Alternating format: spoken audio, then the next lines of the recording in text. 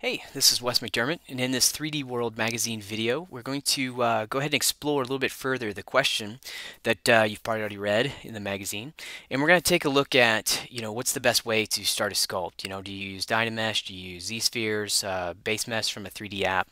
And so in this video, what I want to do is just kind of talk about, you know, you know, my workflow. I happen to use um, a real kind of a hybrid approach where I'm, I'm using not just ZBrush, but I'm also using like a 3D app as well, uh, back and forth. I'm just kind of trying to use the strengths of both applications. I like the free form of ZBrush, uh, but also kind of like the, um, the accuracy I get from like a 3D app, you know, being able to select edges and, and you know, do bevels and things like that a, a lot faster.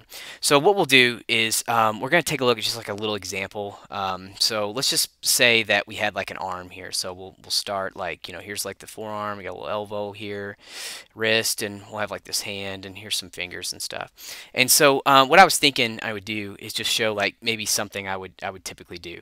So um, let's just say that this is either like maybe a robot arm or maybe it's like uh, some mech armor or something like that. But we're going to look at doing is just kind of like working in on this little forearm piece.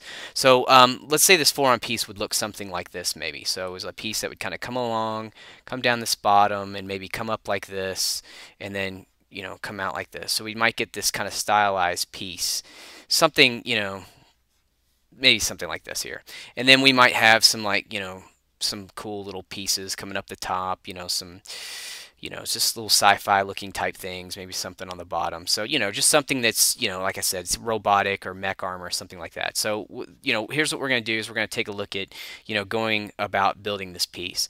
And so, you know, typically what I might do is um, I might start in ZBrush uh, using Dynamesh again, so I can just kind of free form, work the um, you know work the silhouette, work the form, stuff like that. Just kind of quickly, just you know get a nice shape, um, and then what we're going to do is bring that back into a 3D program. And I'll just kind of show you the workflow of it. And you know this is a really simplistic example, but um, I think it'll serve the point. So let's go ahead and just jump over to ZBrush, and what I have here is just like the default project Dynasphere. I think it's like at 128 resolution.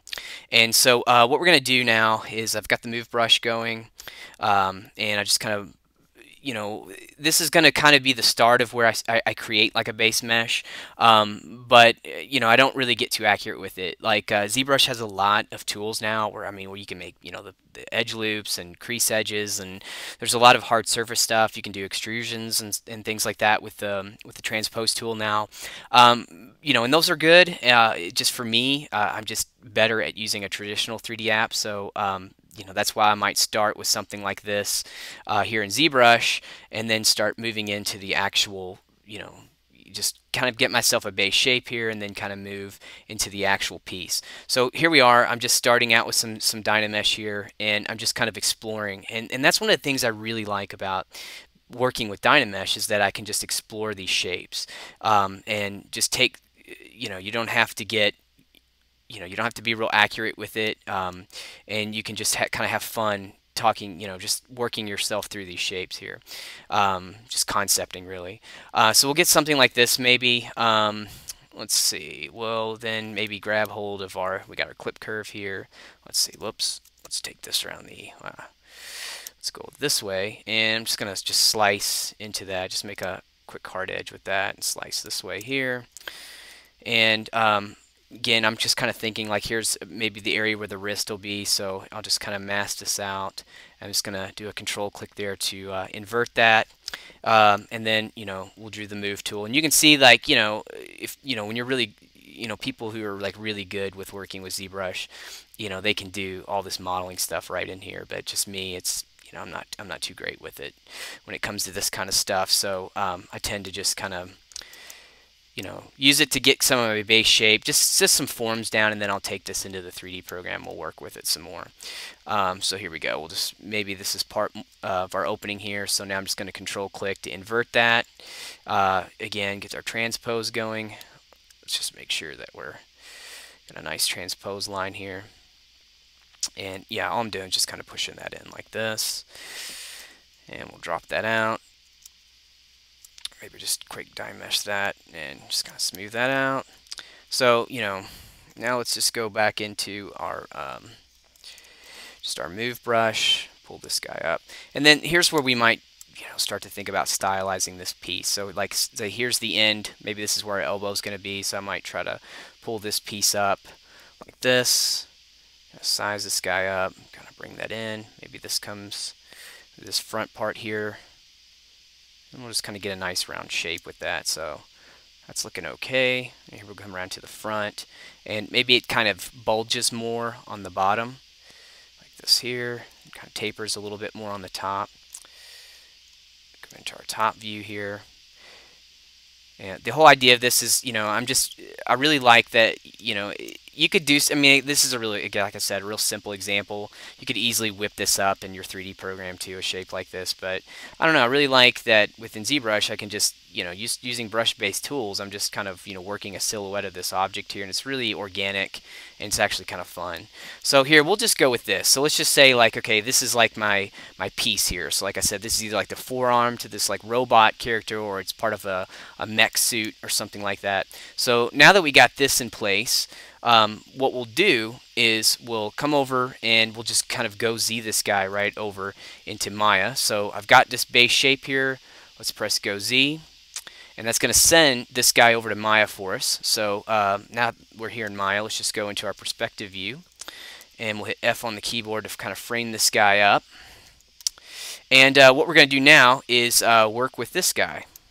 So what I'm actually going to do is uh, just use this as a base shape and just kind of draw some, some topology over top of it. Now I'm not um, really interested in saying, okay, this is going to be like a, a total, uh, you know, resurface job here. But, you know, I just kind of got this nice little shape here. It was a quick way for me to get it. And so I just kind of want to, uh, work with it again. Uh, so what we're going to do is we're going to utilize Nex. Uh, this is a modeling plugin that I use often in Maya.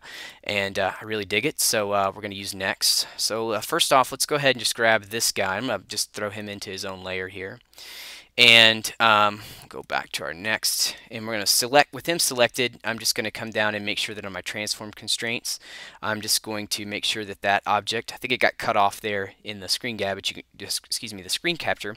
But you can see that it starts off with this wax Dynamesh 129 this is just the mesh that um, ZBrush sent over to us and uh, so now that we've got this guy selected at the very top here I'm going to go up to Nex I'm going to tear this menu option so you can see that we'll bring this into view and I'm going to go to my object display and I'm going to run this uh, see-through toggle mode here. So it's going to let me do this see-through toggle mode. And uh, now we'll go ahead and turn this off. Or well, here, we'll just pull that out of the way and we'll turn our grid off. And so now I've got this object and what I'm going to do now is just work with um, the quad draw tool inside of Nex. And so what I've done here with this transform constraint, um, this is like in a sense in a sense making the object live. So now I can just snap vertices and any topology or anything I do is going to just draw right on top of this guy. So again it's just kind of like a little resurface thing. And quad draw let, lets me quickly uh, just draw out well quads. So um, what we'll do is now that I'm in quad draw mode I'm just going to go ahead and just start uh, just putting down some points across here um, like this. And uh, you know, just making some quads here that I can work with. So you can see I'm starting to put these points across, and uh, these guys are all sticking to the surface. Now what I can do is hold down Shift and just drag, and then there we go. I've got some some topology to work with here, and so I can then continue to start, you know, work with this guy um, as I bring him over. Uh, so you can grab this little guy here, put him here like this. We'll just put another polygon in here, and uh, let's do the same thing right here grab this, put a polygon in there. Uh, so now what we'll do is we'll go into edge mode. Whoops. Actually, that's why I put that guy on another layer. Let's go over to my channel box here. And for this guy, I'm going to go ahead and just put him down as, um, I'm going to lock him like this so that um, he's basically a reference. So we don't have to um, worry about selecting him when we go into edge mode. So I'm going to drop the quad draw tool. Uh, I'm in edge mode here. So uh, now what we'll do is we'll just do a uh, loop selection like this. Uh, grab the uh, move tool. Um, then next thing I'm going to do is hold down D and with Nex here I can snap to any of these edges so I'm just going to just left click on this edge and snap to it like this and then you can see that if I hold down the shift key um, and I come over or mouse over the manipulator in the Z um, axis here, I can actually just extrude. So now what I'm going to do is just start extruding this, uh, and it's actually doing a surface slide as it does this. Uh, go into the um, scale tool, just kind of scale this guy up, just go into the move tool. Again, I'm just doing a surface slide as I go across here. And, and what I'm doing is just uh, building out some more um, topology here. And uh, as I start to go across, now we can go back into quad draw here, and uh, this is just telling me about history. We don't care. We don't want to see that again.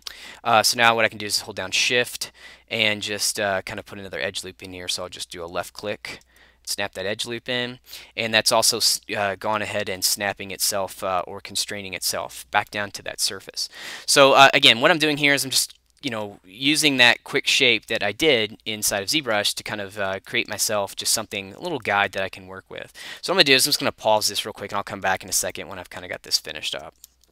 Okay, so we're back. Uh, I took just a little bit of time to uh, go ahead and just create the rest of the shape. Uh, just same thing you saw there, using the Nex tools. Um, just created the whole shape. Uh, just you know, didn't worry about so much making it exact perfect or anything like that because that ZBrush mesh uh, was just really just a guide for me, just kind of let me get that overall shape. So as you can see, I did get the, you know, pretty much the exact shape that I wanted from there, but it's, you know, just falling around.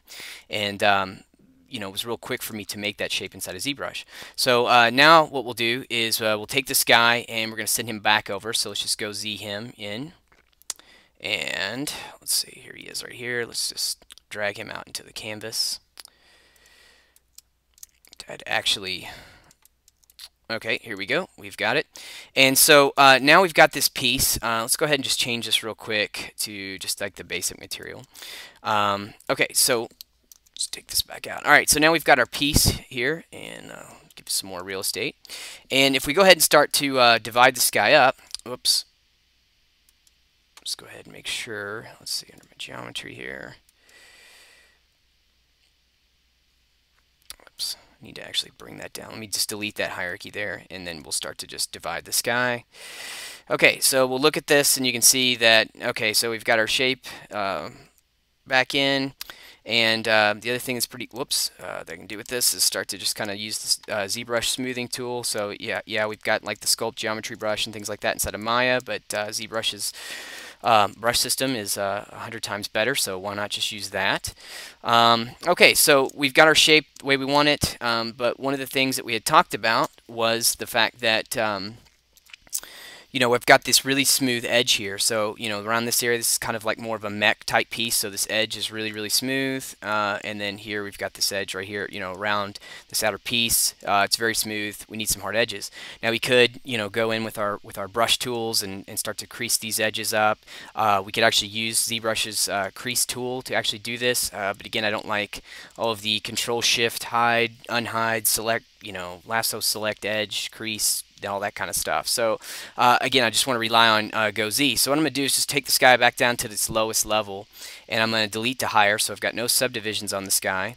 And uh, let's go ahead and just GoZ him back. Um, in our case, we didn't make any changes or anything like that, but we very well could have uh, if we wanted to. So um, if we wanted to make any minor adjustments to this guy, so let's just say, for instance, we grab um, our move tool and uh, we just started to kind of just tweak this just a little bit. So say we wanted to, uh, you know, we saw this come back into ZBrush and we actually wanted to kind of, you know, pull this piece up just a little bit more like this here, kind of give this uh, a little bit more flair here at the end like this.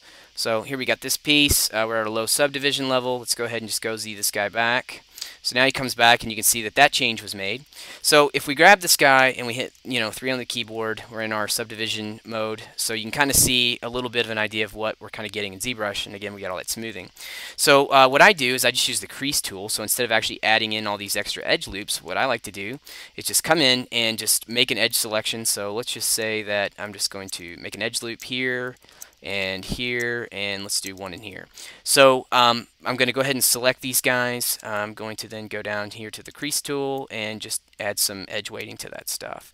And then we'll go back into object mode, and you can see that now I start to get this nice crease. Um, what we can do is we can grab this guy. Uh, let's get a better preview of that. So let's go under the shape node here, under uh, subdivision levels. Let's see, that's under smooth mesh. And uh, let's just increase this one more level. And uh, so now you can see that, you know, a little bit more subdivision, you can really see how nice and clean that edge is. And so, you know, when I'm working up, you know, these kind of things, this is so much easier for me to get this kind of, these kind of really nice edges like this, especially when doing hard surface type stuff in conjunction with the two. Um, so you can see that, you know, my idea of, you know, starting with that very rough base mesh uh, or rough shape inside of uh, ZBrush to kind of get me going, bring it into Maya, start to add up the edges, some stuff like that.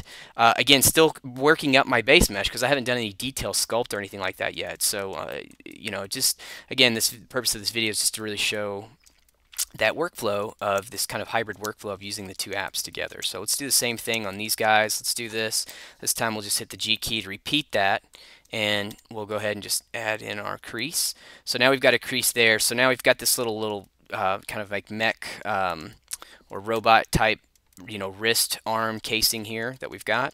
And so now we'll take this stuff and then we'll just kind of GoZ this back.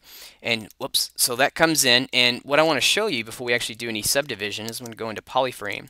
And so if we take a look at what's actually happened with that. So in when we actually use GoZ with this, you can see that those edge weighting or the creasing that we actually put inside of Maya comes back into ZBrush is actually just really, really tight edge loops. And this is the same thing that's going to happen if you're using ZBrush's crease tool. So it's it's essentially the same thing. It's just again, it's so much easier, at least in my case, to do this. To you know, get get that over to Maya, make my edge loop selections, and then kind of go from there. So now that we've got this guy, let's go ahead and we'll start to divide the geometry up. So here we under our geometry tab, we're going to want to hit divide, divide. And so uh, here we'll do it one more time. So we're at level 4, and now you can see that I get this really, really nice, crisp, hard edge for this surface. Um, and so there is a way that I was able to get this piece. So let's just say now this is the base mesh piece that I want to start to work with um, with this with this part of this arm. And so uh, by using, first off, again, ZBrush, we kind of roughed out the shape with Dynamesh. We then brought that over to Maya, uh, drew some better topology over top of it, a little bit easier to work with. Uh, then we set up some edge creasing uh, inside of Maya, brought that back. So now we get this piece, and now this is basically becomes our base mesh that we can start to work with. And we're um, actually going to uh, begin our detail sculpt. So now we could actually come in with all the ZBrush, you know, maybe use some, some different alphas and things like that to actually cut in some some um, actual seams along this or add in some different pieces like that. So again, um, hope you found this useful. Uh, this just happens to be my way of working. ZBrush is really powerful. I really like its sculpting brush system. I do have kind of a rough time working around some of the um, you know, transpose extrusions and all the some of the workflows with um, creasing edges and things like that. So instead of fighting the tools, just find the strengths of them and use them together. And, and like I said in the article, GoZ is your friend. It's your best friend, and uh, the two work very well.